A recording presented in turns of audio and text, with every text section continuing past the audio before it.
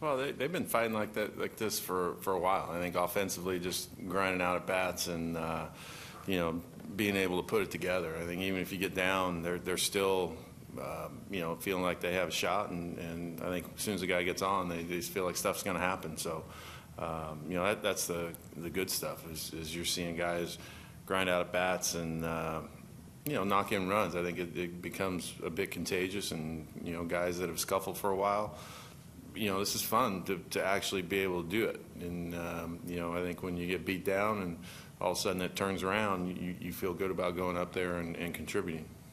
Does it become surprising when Abreu doesn't get on base at this point with as well as he's swinging? I think just hit, yeah, I, I mean, hit it hard and you, you expect something to happen because he's, he's in his zone right now. And I think, uh, anything you throw up there, I think he's going to hit hard. I mean, it, it's it's unfair that you feel that way of, of a guy going up there, and if, if he doesn't get a hit, um, you know, you you feel like it's a bit unlucky. So uh, he's as hot as anybody in the league. First tonight was just one of those nights for him. Yeah, it's just his day. I mean, he was all over the place. Um, you know, didn't really have command of anything. I think uh, you know pitch count got up real high. They worked him over uh, in, in that inning of, of being able to, you know, get a good hitters count and, and take care of it. So, um, you know, it's just an off night for him, but, you know, at least the offense came back and, and helped him out.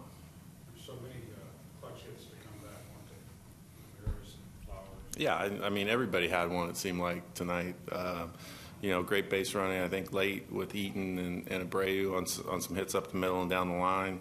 Um, you know, but it seemed like you look up, everybody had a big one. Uh, Eaton, Abreu, um, you know, Paulie was in there, Sierra. So it, it's uh, Flo with a big one to add on, and, and De Aza. So, you know, when you get that, you, you have a pretty good chance. And uh, you know, Jake, even though it's a little shaky in there, it's it's good for him to go through that. You're always going to have a chance uh, for that tying and winning run to come to plate, and, and he was man enough to get it.